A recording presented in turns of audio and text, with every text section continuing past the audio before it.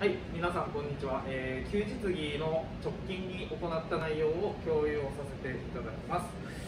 えー、今回はですねお灸を壺に据えるというところに焦点を当てて、え、やっていきますがあの壺というのが、えなんだろう止血部位を見てちゃんと取るっていうようなものではなくちょっと感覚的なところの、えお話をしました。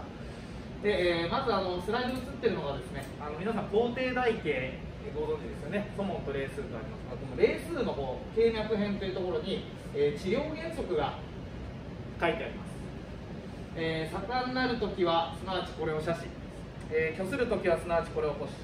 熱するときはすなわちこれを早くし、寒なるときはすなわちこれをとどめ、ここからですね、えー、寒下するときはすなわちこれを休止とあります。つまり、えー、へこんでいるところには呼吸をしなさいね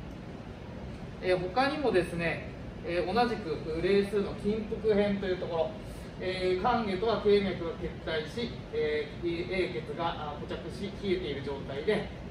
ー、石油が適しているなんていうふうに書かれてもいます。で今日の一冊ちょっと話変わりますが、えー、皆さんあまり知らないかもしれない「思うツボ」という本があります、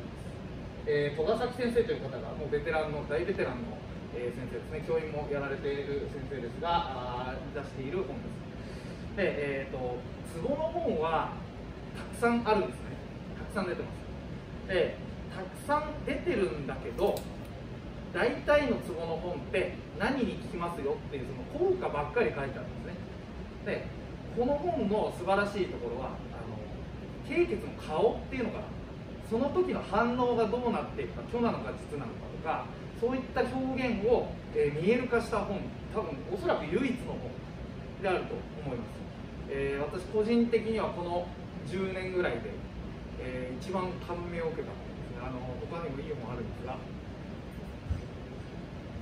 です。はい。で、えー、まああの機会があったら読んでみてください。で、えー、授業ではあの内容プリントを配ってしまったんですけど、まあ、あのぜひ本屋さんとかで見てで、えー、この一番下ですね、えー、こちらを見ていただく、まあ、大体こうツボの反応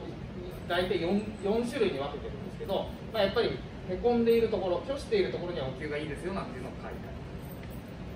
す。で今日のお話としては、えー、肺部輸血に呼吸を据えていきますというか行きました。授業ではね。えー、で、えー、学校の先生が教えてくれたと思うんですが膀胱系肺部輸血の「湯」という字は、えー、丸木舟とかえー、木をくり抜いて作るんですね、えー、こういったくり抜くっていうそういったものを表しています。でそれで改めて膀胱系を見てみるとここからずっと輸血が並びますね、えー、なので、えー、要するにまあこの肺部輸血っていうのは反応が出てる時はへこんでいることが多いというふうに理解していますで、えー、授業内では実際にあのペアになって寝ていただいてこう触って昔あの交際触った時ありましたよね。あのへこみあの張りがないとこ。あれと同じ感じで優しく上からこう方向系を触っていくとこの輸血のところでへこむところがあるんですね。これ個人差があります。そのへこんだところにお気を据えましたはい、えー、一番皆さんが今現状1年生ができる一番簡単な治療だと思います。